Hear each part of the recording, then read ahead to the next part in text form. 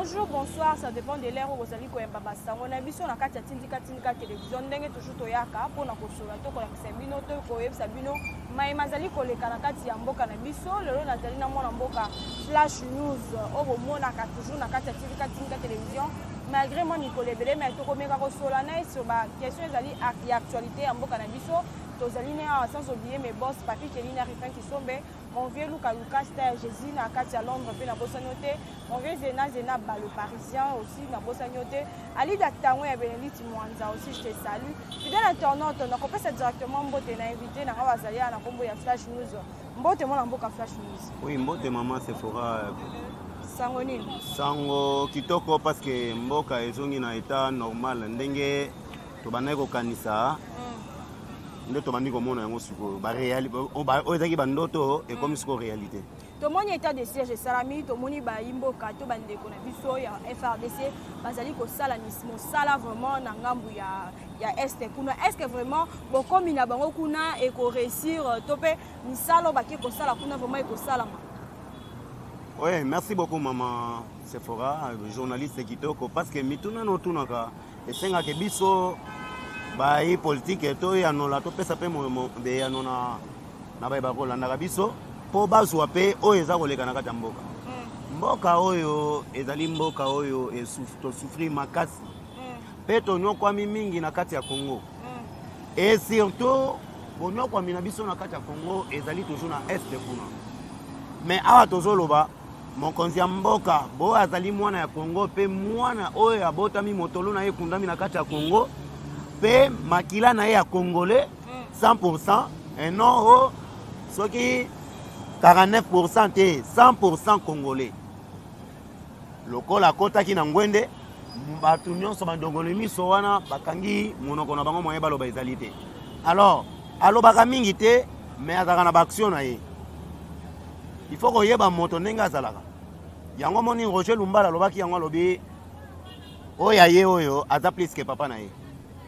boyeba yango donc soki toke makambo ya este Mokonzi ya mboka azuwaki alobaki etat de siège ekota na kati ya est e anomaki mpe gouverneur ya sika oyo babengi na nkombo ya kashama alors ye wana moto asembola mosala na ye kuna epuis le, lelo tozoloba oyo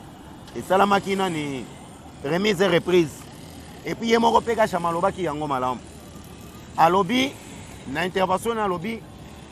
nazali gouverneur ya mboka ya, ya na kati ya, ya nord kivu kuna hmm. nyonso baparti wana nyonso oyo bapesi na ye epesameli na ye azali gouverneur aza gouverneur ya basoda ba te to vice na ye aza gouverneur aza vice gouverneur ya bapolicier te mais aza gouverneur ya, ya, ya parti na ye donc azali premier citoyen ya kote na ye epuis abakisi eloko mosusu alobi ndenge ngai nazwi prerogative oyo to nazwi mission oyo ezali mpo nasilisa bagroupe rebellion nyonso oyo bakangami na mopanzi mipanzi ya este ya congo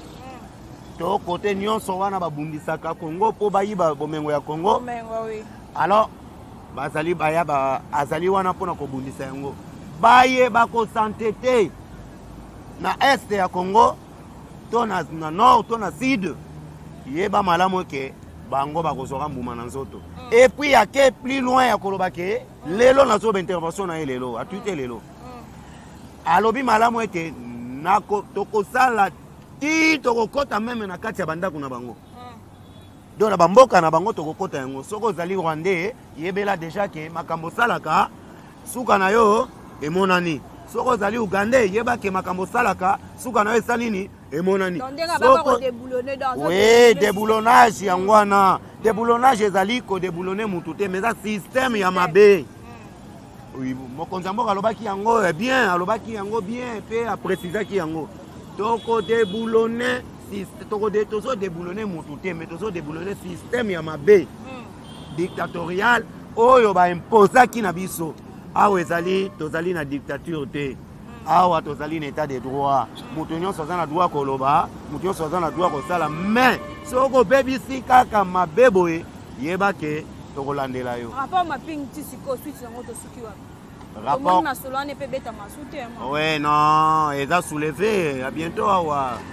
ba eh, union européen basoulevaki yango rapport mapping basoulevaki yango lisusu eyinde yango nde omoni moise katumbi abandi kotya lokola nani kotu ba fati beton ba banani basende koloba mabe ndeko na ye mbemba alobi botika nano election ekozala te lokola etats-unis alobaki yango alobi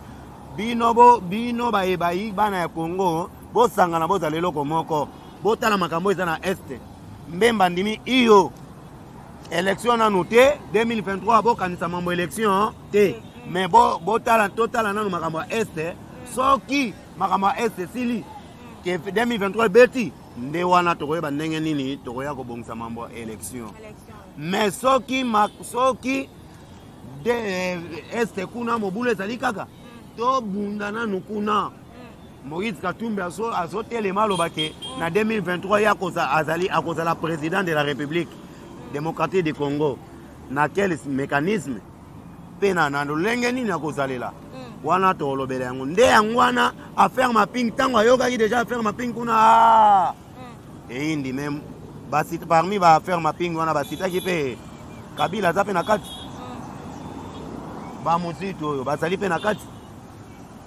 mosusu oyoka mosusu to moyibi monene oyo ayiba congo ayiba oh. mbongo ayiba mbongo na congo donc oyo babengaka bango ke bamiyibi moko intelligent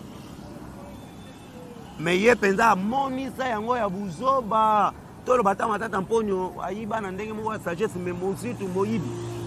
bango nyonso wana bazali na kati ya affaire mapping donc esili kaka te tomoni mpe dossier ya caleve mutonde tomoni jusque là se présenter te il fallait qu'elle se présenter le 10 mai lobi tomoni à se présenter te toloba tozala mwa intervention na yo par rapport ya boboyi na ye ya kose présenter mais baavocat na ye bazali toujours wana oyebi vita camere mama sephora vita camere ntango babandaki kobenga ye na justice ayaka asalaka mbala boni mpo aya ote bareporte yango ote bareporte yango mm. peuple akomaki meme kobaye koloba ah, azosala bongo mokonzi ya mboka nde asala bongo mpo na nini mpo na boye non teka justice asala mosala na ye justice ya mboka na biso congo oh, ebongi na kati ya congo ya eh, mama, mama, mama sefora nayebisi yo malamu ke justice eza ya kobonga ngai namoni makambo oyo motu oyo azobengama ke azali ndeko ya fati azobeta policier ngai moko na ville tofilme ye tomoni bakangi ye bakangi ye o ndeko afati justice elati ye mais tomoni banionso bakomikala na famille présidentielle eh, famille présidentielle eh? yo sakana sikoyo famille présidentielle eh? okomona sala buzoba na nkombo ya famille système ekomi ozala moto ya udps osala boye to oyebani na faci famille présidentielle eloko wana na manda ya fati ekosalema te mm. ekozala pe te mm. fati ntango azwi bokonzi abengaki famille na ye mobimba lobi to instaure état de droit justice indépendant état de droit meme ye mokonzi ya mboka aloba yango na top congo aloba yango malamu alobi meme ngai oyo soki nasali mabe état de droit ekolandela nga bongo yo ya koloba lelo ke oloba soki ndenge nini soki boye soki boye o ngai ndeko o ngai famille présidentielle akende ah, nano na boloko kuna yoka nano asengaki me bapardon na bapolisier wana mm. nazongeli na motuna otunaki ngai kalev mutom yeba yango malamu ayeba malamu ke amata kita akosuka na korepondre oui bakokondane ye bakobenda ye komona no mpasi te bisika abatami bayebi ba yango le tout puissant Caleb oh le tout puissant le tout puissant azalaki le tout puissant oye mei oh. lelo akomi mbeyambeya te yo oyebi te akomi mbeyambeya lelo aza place fixe aofanda te sikoyo ye wana akomi na, na, na nani nzela mpe biso tokomi komona ye akomobima mpe na ntongo boye abimi mpe na porte na ye atelemi na azo moyen abima eza te kingakati ekomi site touristique hmm. yo yaloba lelo mama tika makambo echange na mboka na biso faci nayebisi yo akovanda wana hmm. etats-unis elobi faci akovanda wana mpo na kaka faire moko oyo ezali entre baegyptien na bandeko na biso ba pays oyo pays moko baswanaki mpo na barrage barrage ya renaissance ntango hmm. baswani fati en tant que mokonzi ya union africain hmm. le numéro 1 na afrique akei kopesa kimia aresoudre bango états-unis bakamwe france bakamwe mpe communauté internationale mobimba bakamwe balobi non oyo sachet oyo totila komona yango te na kati ya afrique donc ye mpo afanda mpo ayeba ndenge nini ya kobongisa afrique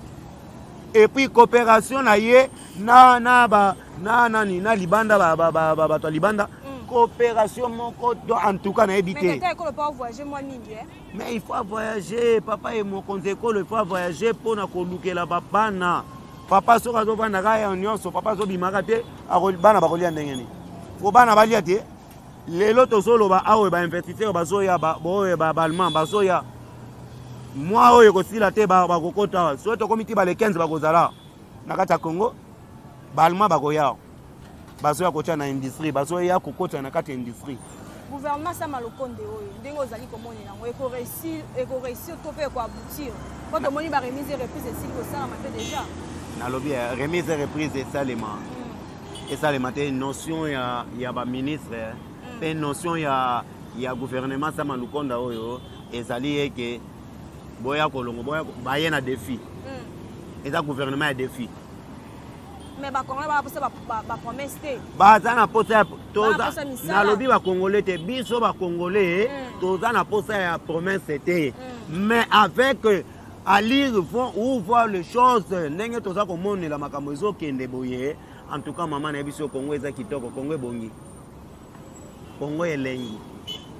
mboka elengi oyoka mboka elengi kongo mwana mboka tosolola mpe mwa makambo etali matata mponio tomoni Eh, asili kozonga na kati ya mboka na kati ya engumba kinshasa pour que asili ya kopresente na ngambo ya justice mpo tomoni mpe babengisaki ye babengisi ye epuis enfin tomoni asili kokita sur le terrain asigne afin ke ase présente devant la justice mwa maloba to intervention na yo oye matata mponio ntango ayaki moko na dimanche ayaki awa na kati ya capitale dimanche mm. ntango akomi dimanche asali presse alobi justice ekomi instrumentaliser mm. donc justice ekomi lokola ndenge bango bazalaki nango na justice ya poche na bango mm. bango bamoni yango ekomi lokola instrumentaliser mais yo oza moyibi oh. tikanga nayebisa yo malamu mama sefora lelo dossier oyo babengeli matata mponio naza nango eza linep dossier non c'est pas bukangalonzo te nazotangela oyo nyonso nef 9 dossier obanda kolanda yango malamu mpe baye bazolanda bacomprendre ke pourquoi babengi matata mponio na justice mm. et puis de deux esengeli lokola azali sénateur na kati ya sénat esengeli balongola humidité na ye mm. babenga ye ndenge maître maître lelo oyo ya baron baron ya, ya gombe mm. alobaki asali intervention alobi yango seke balongola humidité na ye comme ça balandela ye mais dossier na ye eza na mesa oui humidité parlementaire o oh, ngai nazali ye nani nazali boye intouchable eh. nazali ngai bakosimba ngai te matata mponio bakokanga ye ndenge moko na kalef bakokanga bango zala kimia kalef kutu aza na humidité te mpo aza humidité moyibi ya moyibi oh. alors premier dossier ya matata mponio ivoa esengeli akende kose justifie na, na justice eh, ya liboso ezali utilisation de 70 millions de dollars mm. ayant servi pour la campagne agricole 2012-2014 matata mpo nayebi makambo wana wana ya liboso ya mibale ezali boye utilisation de 400 milliards de dollars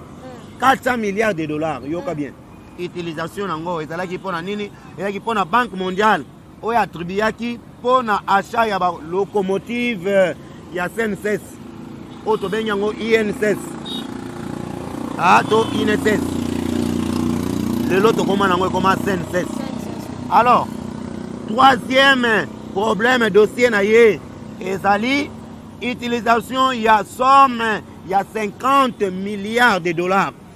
kaka ba dollars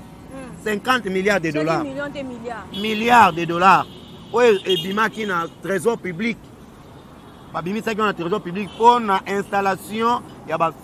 fibre optique hmm. ozolanda mala mama quatrième ezali 140 milliards de dollars eh. oyo ezalaki mpo na projet ya bukanga lonzo sikoyo yo lokola oza journaliste oyebaka bukanga lonzo tala eza 4e dossier na ye hmm. eza 4e dossier mais 5e dossier 26 milliards de dollars 26 milliards de dollars oyo ezalaki mpo na réhabilitation ya palais du peuple wana ndako na biso ya bapeple 5e Sixième, ezalaki 22 milliards de dollars oyo ezalaki mpo na kopose bapaserele ozomona bapaserele oyo eza na septième ri awa oyo ezali awa bakoti biso kaka na ntango soki mibale na boye mais 22 milliards de dollars hein? il faut oyeba yango mama mama sephora il faut oyeba yango malamu donc septième dossier ya matata mponio ezalaki 190 milliards de dollars ezalaki mpo na nini mpo na bastade construction ya bastade municipaux 8e 200 milliards de dollars ezalaki mpo na nini mpo na construction ya cinquantenaire cinquantenaire na biso wana aya kojustifie mbongo wana eyaki ndenge nini ebimaki ndenge nini mpe esalaki mosala ndenge nini yaka na justification nanu azokima ya suka mpo na 9e 180 milliards 198 milliards plutôt 198 milliards de dollars oyo oh, ezalaki mpo na construction ya baekole à travers tout le pays hmm. nalobi mbongo nyonso oyo tosali oyo kalkile yango opesa biso montant oyebake matata mpo naza grand moyibi ye azwe mbongo ya baekole ake kotonga ekole na ye alobi ke matata mponio aconstruire na mboka na ye mapo maponio soki maponio matata mponio moyibi monene epuis moyibi lokola ndeko na ye kamere vita kamere kamere oh, eh, yango wana fo oyeba ke bango nyonso bazalaki kaka meme dio bango kabali na bango ezalaki ke mokonzi ya mboka asala meme ata simwa te Ah, ezalaki bongo na mboka tokoloba eza paralyse parceke nyonso yo bidja mboka me bayiba ebele mpe baza na koyiba oyo oh, lelo wili bakonga bakonga oyo bapesi nanu ye kaka mpo na kokima kaka na brata ndenge akimaki wana mm. bazongisi ye na bapesi ye na 3 ans mm. me asambi nanu te il faut bakatela ye ah, il faut asamba bakatela me bazongisa yango soki baboyi bakoconfiske babie na bango motu lokola mozitu combien de parcelles na kati ya ville ya kinshasa combien de ndako oh. mais azotelema alobi je suis opposant opposant ya nani opposant contre qui celui qui n'a pas volé moto ayiba te moto oyo abuka lokuta te moto oyo atamboli na sincérité ya, ya, ya, ya mboka mpe moto aza na bolingo ya mboka fati beton yo okende koloba ke yo oza na sincérité comment yo aza opposant te muzitu n'est pas opposant même foyulu c'est un grand voleur lelo tozoloba oyo baza ba grand voleur baza bamiyibi minene ya mboka oyo etienne tshisekedi wa mulumba alobaki awa malamu alobi ke lokola bango nyonso bandaki kosoutenir ye ntango na 2011 eh, alobi baoyo nyonso baza mopanzi na ngai bokota na ndako wana te mm. ezali ya bamiyibi moto ya liboso akende nani ezali fayulu te esuki kaka wana te fayulu ateka voi moko etikalaki mpo te eh, nani ndeko na biso oyo nani ada bombole azwa guvernora ya, ya ville ya kinshasa me atekela yango kimbuta mpo aza ndeko na ye kimbuta apesa ye mbongo ateka yango eske moto abongo aza na peuple congolais tosengi en général tofongola miso totala moto aza na interet ya peuple ya mboka na ye moto aza na susi ya mboka se félix antoine tshisekedi tshilombo mwana etienne tshisekedi oyo toyebi tata na ye mpe toyebi mama na ye toyebi mpe mpa na bango soki asali mabe toyebi mpa na bango totumbi yango oh. omero oh, aza na droit na erreur te oh. non félix ayebi souffrance ya peuple congolais hmm. yo félix aza na souci ya peuple congolais félix ayebi souci mais bozala ah. ya moso bovandi mpe botali mpe bobi ah te place oyo mpena tata ekolo te faki vraiment asali mabe bozala nango mpe oh, mais ntango biso tobanda koloba toboyi libala ya fcc cash hmm. toboyaka te tolobaka te otelemela ye wi totelemela toboyi yango ntango amoni ke yesu abuti mpe na rien mm. akati mpe yango libala wana mpe ekufi oh. mais c'est ça eza bongo mokonzi ya mboka aza na droit aza na droit ata moko te ya erreur donc ndenge azali wana esengeli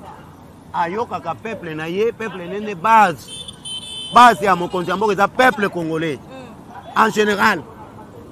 y compris na bamiyibi wana ayokaka mpe bango mais tomoni mpe destitution ya zoe kabila ti mais d'office zoe kabila na manda na ye asali kuna asali eloko te asali eloko te ma wana mamanipulation ya bato bazomanipule bango zoe aza moyibi azoyokana na gouvernorat na ye te oh. eloko ya liboso bablongoleli ye azoyokana na bango te epuis salaire ti lelo soki eza lokuta moto aleka na chaîne eh, aya koprouve ngai nga place note nakopesa nimero na ngai aprouve ngai na abongisi te azoyokana na gouverneura na ye te et de deux azofuta bato na ye asala na bango mbongo te oh. de trois alingi koyoka makambo oyo ezali oyo eza execution ya, ya gouvernement, cent, eh, gouvernement central te azolinga koyoka yango te ye akomi kosala lokola ya mboka wana ekomi ya ye de trois batimbelaki ye na affaire oyo ezosalema na est batimbeli ye azofinanse mpe mbongo wi na guerre ndeko na ye apesaki mbongo ye moko mpe na mbongo wana moyibi kuna aza kofinanse yango de 4 azobimisa baminerai ezokende libanda na nkombo ya guverner ya tanganyika makambo nyonso wana ntango peuple azomona yango esengeli adenonse yango nde bakweyisi ye so bakweyisi ye eza mabe parmi les 25 députés provinciaux 13 balobi no bapesaki bango na mbongo balobi tokokweisa ye kaka bango nyonso 25 ezo oyo atindi mbongo bapesa bango bakweisa ye te azalaka wana mpo asala mafia non biso toboyi mpo tokweisa lokola biso tolati esprit ya union sacré esenge tokweisa nanu moto oyo 13 bakwesi ye 12 wana babandi kosala badéclaration banda banda osala déclaration banda soki mokolo nini wana ti lelo déclaration na bango ekenda nango na mai zoe asi akei na ye zoe bayo oh. asa longwe yango na apesa mpe mecondelance soki na mama na bango sifa mama akufi en tout cas euh, soki mama na bango soit disant soki eza mama na bango mais bayebisi biso bato baza na lubumbashi bayebisi biso mama sifa ata ya mm. kokufa mm. alors c'est pas avec maman banga solo ata mama na bango te wana mama adopte baadopta ye oh, mama adoptive eh, baadopta bango oh. bayawa telema banda kovivre azalaki makango ya musee oh. bakosaki mpe lokola musee azalaki mpe mama papa adoptaki bango mm. nde sikoyo baadopte mpe bana alobi te tika natikalaka na nkombo ya mama na bino me mama na bango nkombo ne marceline mama na bango lelo tozoloba aza envi aza na mboka ya chine soki soki lokuta luka information okopesa ngai raison ngai naza flash news nalobaka makambo ya lokuta te nalobaka makambo eza sembo liboso ya ah, bato ngai napesaka formole te hmm. epuis nayaka te mpo na kopesa formole hmm. epuis tindika tindika chaine oyo hmm. e bato balandaka yango basepelaka te ke balanda baformole ngai nakoki kopesa formole te mama na bango nkombo na ye marceline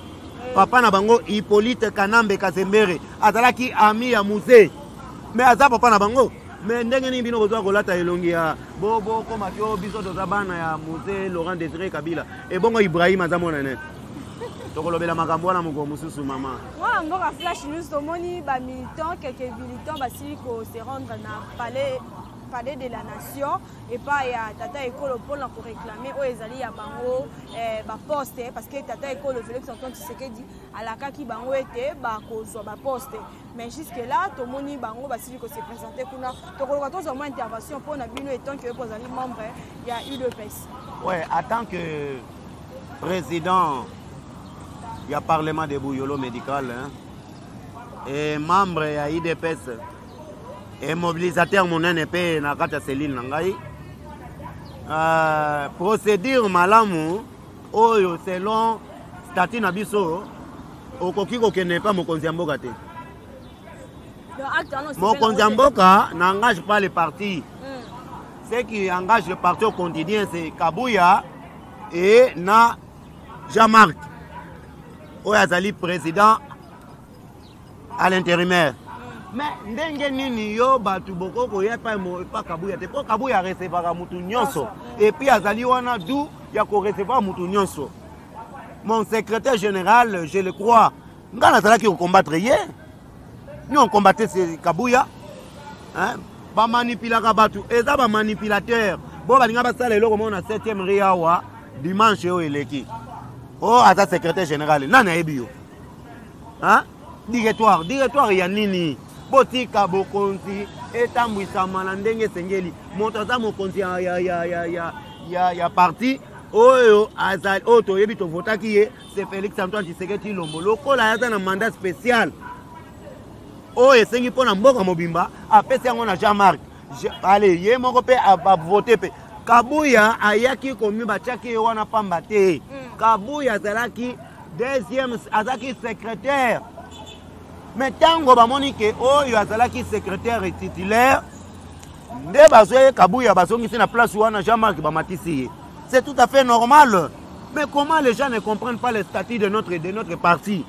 ti lelo oyo bato bakomprenaka eloko moko te tokosenga na ba bamanipilatere nyonso boyoka malamu parti oyo eza parti chere ya tien tisekedi wa mulumba eza parti oyo ebunda nayebi ke yo mpe obunda me soki obunda mpenza na bosolo luka oyeba ndenge nini ya kolanda ndenge stati ya parti ezosenga koya komanipile bato te mpo bato bakoma na basantima ya koloba ke o oh, kabuya toboyi ye o oh, tolingi boye bokomi komisa ba secrétaire général mosusu secrétaire général aza kaka moko augustin kabuya aka 47 non bandoki bazalaka te na kati ya libota na kati ya libota soki obotami mama sephora hmm. bandoki mpe bazalaka na kati wana ah, ah, bancoko bazalaka hmm. e likambo oyo ya kobundisa parti hmm. ebandi lelo te de son vivant etienne tshisekedi wa mulumba notre papa notre koko mm. oyo asali ke lelo tozala na démocratie et puis état de droit ekota na mboka et puis justice indépendant ekota babanda kobundisa ye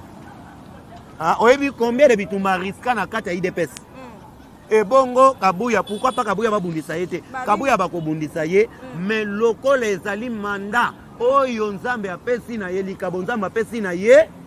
nzambe ayebaka maka atrasaka nzela na motu nyonso likambo oyo eza likambo ya motu te mais babibi bana na maîtrise te mpo na makambo etali mbongo parti au pouvoir parti au pouvoir mais maîtrise ezalaki bozongela neti ngai boye neti swana swana neti ngai boye mon secrétaire général augustin kabuya mm. me connaît très bien mm. ayebi ke mwana na ngai ndenge azali wana nazalaka na soife nazalaka na mposa ya mbongo me nakolinga teke nabanda kolakisa position na ngai ya mabe liboso ya mbongo te mpo mbongo wana e, e, ezalaka malamu mm. eza mauvais maître mpe ezalaka mpe malamu mm. ekoki kosunga yo ma ekoki koboma mpe yo mm-hmm. bawelelaka te bawelela bazanga biso tofandi boye biso tobundi biso toza na bavideo ebele mm. oyo oh, makambo ebele bamarshe ebele tosala na opposition banda biso tokɔta na kati ya idps bamarshe tosala awa bavideo ezali ebele bilongo na biso ezali mais comment tolakisaka banani wana te osi mukendi oyo azalaki victime ya kokufa na kati ya bitumba ya idps mm. mpe mpo na mboka congo mm. ete congo ebonga akei eske récompense ya mwasi na ye bango bapeuple congolais bamoni yango te lelo mwasi na azali malamu azali kovivre me ata douleur na motema me akomona ke mwasi mobali na ngai abundaki bitumba tala lelo récompense eh, yango oyo omoni mpe mwa mama denise ake kotala mpe mwasi na ye ayambi ye en tout cas ntango akotika akotikaka mpamba bongo te en tout cas il faut kota na organisation peut-être ya ngai ya denise eh, fondation denise nyakero esala molamu na émission na biso tomoni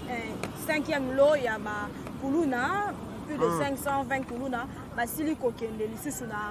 na nyamakasese tokoluka tozwa mwa intervention par rapport ya, eh, ya komona ndenge bazali kosilisa bakuluna epuis bazali kokende se kokende mwa intervention no puke toshiti na émission oui merci mama mama sephora mama sephora na minute ozozoloba oyo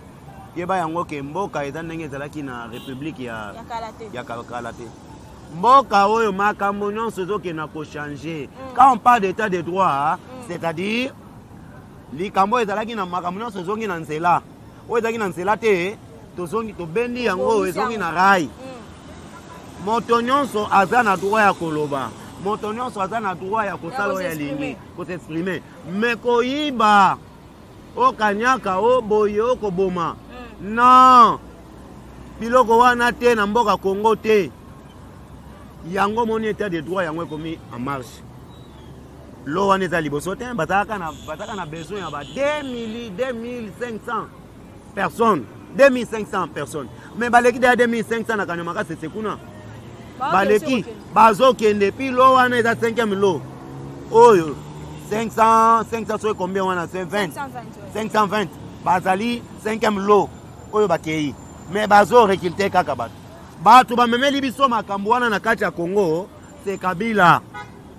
na compagnie na ye ya paris foot oh, oui amemeli biso na compagnie na paris foot moto afandaka kaka na kati ya ndako wana paris foot wana banda ntongo ti pokwa soki mpe oh. aganye te alobi tika nakende obona kata bato machete eh, mpo nayeba ndenge nini ya kozwa mwana nani me yango wana kompani ya paris foot eh, ekufaka te sa nini ekufi ekufi Et puis moto nyonso oyo abengami peuple congolais en tant que conseil na kopesa na bango moto nyonso abengami peuple congolais mwana ya congo koza na droit ya erreur te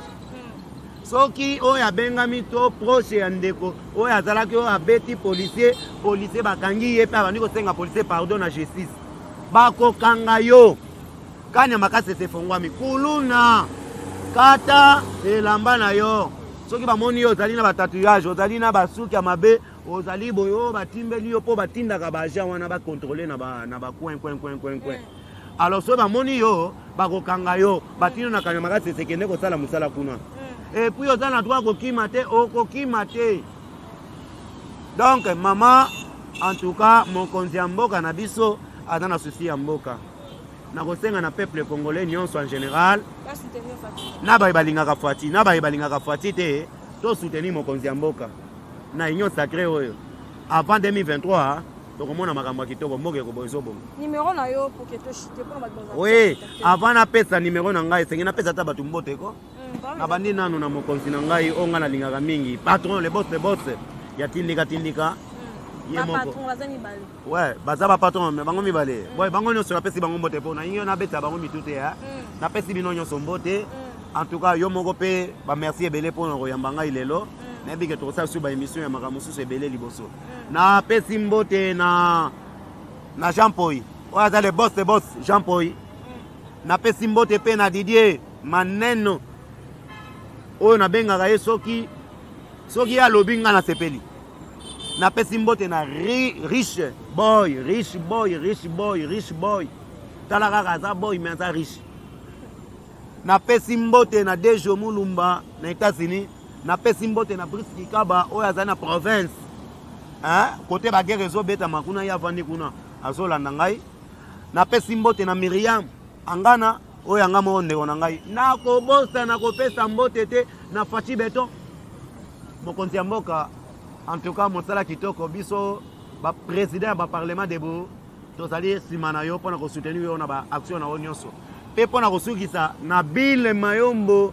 oyo azali sans tache na maboko na ye lokola faci beton ayiba te aboma te lokuta alingaka te Bill Mayombo, le coordonnateur ya ba parlementaires debout nyonso, président, ba président nyonso ya parlement debout.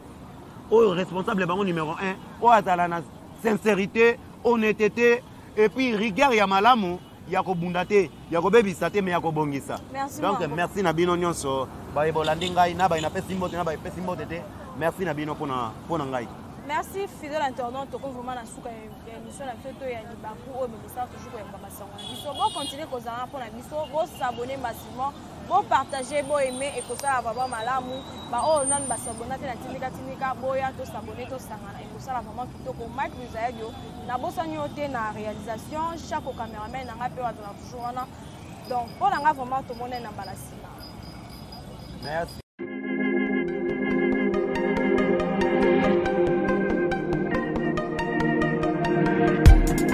Après 25 ans d'expérience, eh oui, de 1995 jusqu'à ce jour, Elton Star, oyo l'unique shop congolais de Londres, na Grande-Bretagne, oyo ti lelo ezali kosala fierté ya communauté na biso, et surtout ya ba homme d'affaires congolais sérieux na diaspora. Oh yes, yes, yes, yes. Secret Item Store ezali kaka moko. Le serieux. Akei na service kitoko na bakliya na ye. Avec baproduit na ye oyo ya première classe ya qualité supérieure oyo nde mabombami ya Eden Store. oh yes mokili mobimba yeba bamama ya londres baconfirma eden star c'est le berceau des produits cosmétiques ya solo produit original e yes ezali mpe berceau ya produit alimentaire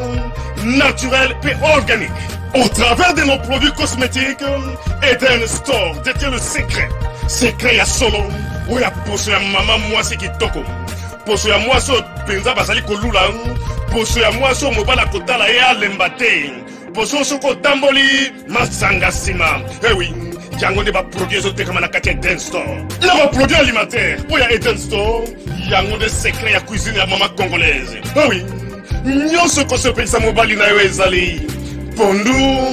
matembele ngaingai ndole fumbwa ndunda bilembwe oyo nyonso mpenza oyo ekobonga mpo na cuisine na yo ezali oh yes yes yes olingi mobali na yo asepela na yo libela na libela olingi mobali na yo atalaka yo lokola mwasi azali kolula sika oh yes olingi mobali na asilisa biloko nyonso otyelaka ye na mesa sekre ezali kaka moko etan star